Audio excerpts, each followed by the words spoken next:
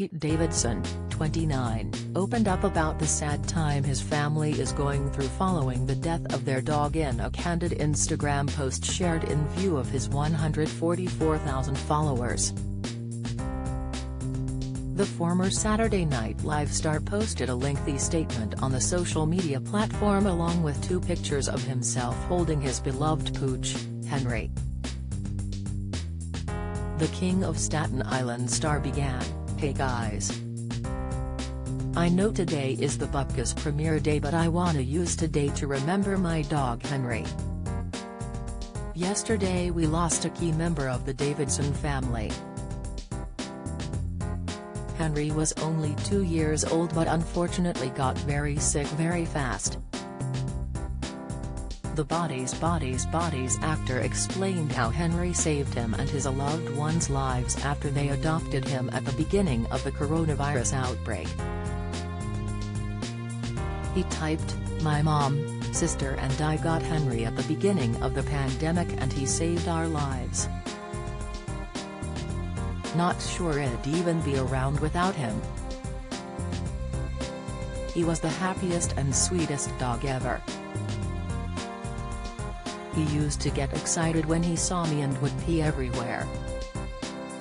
When I was working at SNL my mom would send me videos of him watching, smiling and making noise when I came on screen. Sick, the comedian went on, I don't ever really watch any of my stuff with anyone as I'm far too scared but I didn't mind watching with Henry. He was truly the best. He concluded, my mom, sister and I are broken and will miss him forever. We love you Henry. Thank you for making our lives fuller and reminding me what actually matters. Don't miss.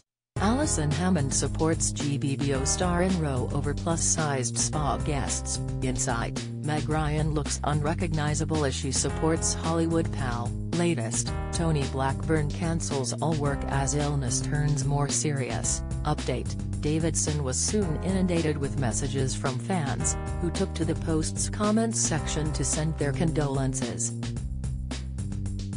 Christine Melendez 11 said, Pete, sorry for your loss.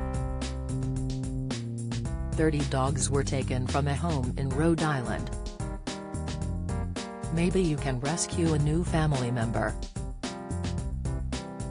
Jamade Zero G added, for anyone who has loved a dog, they know. They take a piece of your heat with them and those that haven't loved a dog will never understand how devastating it is. Take care, it's tough, sick. Moxagirl70 commented, I'm so sorry. I get it when you say he saved you, sick. Davidson, who left SNL in 2022, was set to return to the show to promote his new Peacock series Bupkis, but his appearance was cancelled after the Writers Guild of America went on strike on Monday.